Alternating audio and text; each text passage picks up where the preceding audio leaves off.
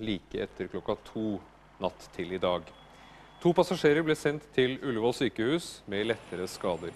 Kollisjonen skjedde i et kryss, og en av drosjene må ha kjørt på rødt lys. Og hvem som hadde skyld i ulykken, det er ikke klart.